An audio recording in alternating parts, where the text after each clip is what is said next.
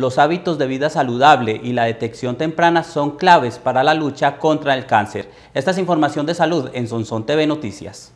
La sección de salud es patrocinada por la IPS Santa Mónica, Servicio de Consulta Médica Especializada. Separe su cita en el 869-2086. IPS Santa Mónica.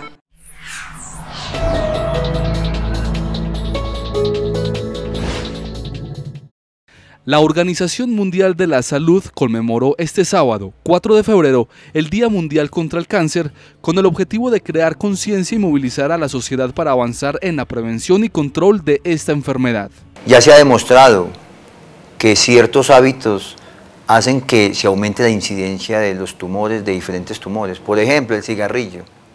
Es increíble que todavía haya gente que fume. Pues uno queda aterrado no solamente a nivel de cáncer, sino a nivel de muchas otras enfermedades como el EPOC. Y la gente sigue fumando, es increíble cómo destruyen su vida.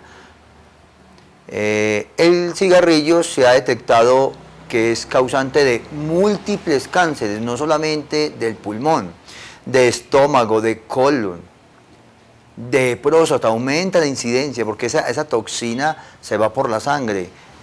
Tiene más de 2.000 tóxicos, de los cuales más de mil son cancerígenos, producen cáncer. La gente obesa, aumenta el cáncer de seno, aumenta el cáncer de colon. La gente sedentaria, entonces necesitan hacer ejercicio, tomar mucho líquido, comer sano, evitar fritos. Los fritos, las carnes rojas en, exceso, muy abundantes, llevan a más cáncer de colon. Entonces mire todo eso que la gente sinceramente no quiere. Eh, tomar en cuenta, cambiar su estilo de vida. Se ha luchado mucho y la gente persevera en su quietud, su mal comer y hábitos que llevan al cáncer. Un porcentaje importante de cánceres pueden curarse mediante cirugía, radioterapia o quimioterapia, especialmente si se detectan en una fase temprana. Uno de los cánceres más comunes en la mujer es el, el cáncer de cervix. Entonces, está la citología. Próximamente va a haber un cambio excelente, ya después en su momento, cuando ya Colombia lo asuma, vamos a ver, pero por ahora está la citología.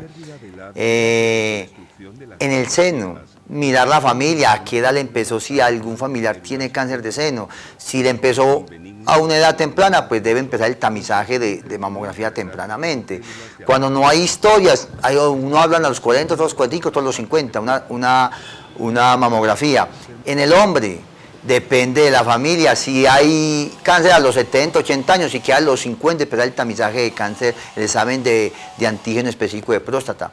Mire, eh, hay historia de cáncer de colon en la familia después de los 50, a no ser que sea más temprano en la familia, si no, es que le dio a los 60, lo detente, empezar el tamizaje de sangre oculta en heces. A nivel de cáncer de estómago, pacientes que no mejoran con o pues los medicamentos, y siguen con fatiga, ¿qué tal? y si de pronto fuman, o si de pronto son tomadorcitos de trago muy frecuentes, o sobrepeso, obesidad, deben hacer una endoscopia. Según un informe entregado por el Ministerio de Salud, en Colombia mueren anualmente alrededor de 33 mil personas a causa del cáncer.